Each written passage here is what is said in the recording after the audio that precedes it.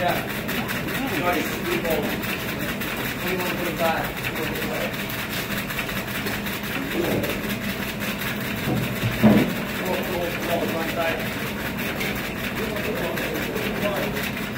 So the bite that's meant to pair along with your cocktail is a savory steamed cake made from mace and allspice.